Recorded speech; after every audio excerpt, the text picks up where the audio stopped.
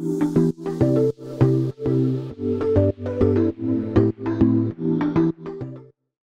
I'm Alexander Strang. I'm a new professor here in the stats department. Um, recently joined from the University of Chicago and excited to join um, such an innovative and forward-looking department, both in teaching and in research. I've had a long-term interest in the connection between the structure of some underlying problem and then the dynamics influenced by that structure.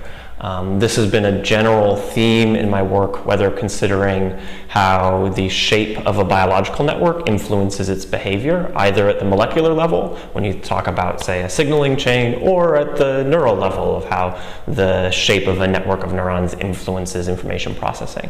This is something I've also considered in optimization frameworks, um, particularly in evolutionary game theory, where you might ask how the shape of a payout function influences and is revealed by the dynamics of the population. Or in Bayesian inference, where you are interested in how the shape of a posterior relates to underlying assumptions and drives the dynamics of sampling for the use of uncertainty quantification. I'm a passionate lecturer. I, I, love working with students and working up at a board. Um, I think some of the most exciting things about being academic is finding ways to convey ideas to students and seeing the ways that you can impact their lives through education.